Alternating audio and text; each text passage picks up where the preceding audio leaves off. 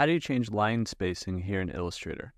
In the graphic design world, we call it leading, but line spacing would be the space between lines. So if I press T for the type tool, click and drag, make a text box. Now inside this text box, it puts in some random text.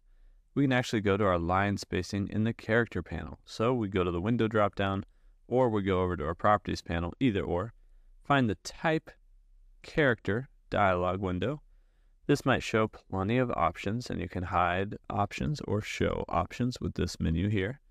And this guy, well, no, this guy right here is setting the leading.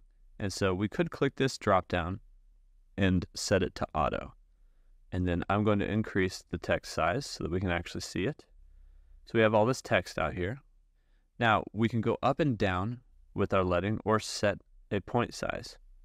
So we can click these arrows to increase the line spacing or decrease it. Now, if you hold shift while you click these, it's going to go up in larger increments, like by 10. That can be helpful if single clicks, you know, you don't want to click this 100 times. You might need to click it more to change that line spacing. Now, this works both on paragraphed text or area text and point type. So what's the difference? Well, we clicked and dragged to create a text box out here, but we can also press T and just click and we can type some things. Then we can press return and we can type more things. Now, with this, we can highlight everything and do the same thing. Go up and down on our leading here or our line spacing to change line spacing both in regular paragraph text, which is like a text box. You can see how it wraps and scales, or doesn't scale, it just wraps.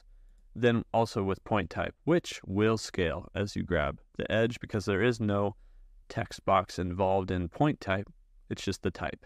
And if we hold shift, we scale it up proportionally. So that is how to change the line spacing or leading here in Illustrator.